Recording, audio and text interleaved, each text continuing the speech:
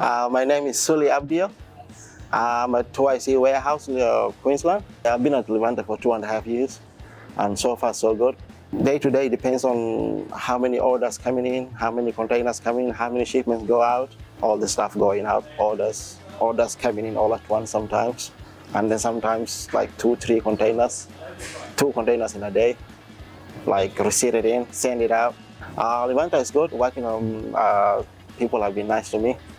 And uh, it's mostly easy work for me anyway because it's just uh, something I've been doing a long time. Uh, yeah, the happy culture is good. Yes, I love that.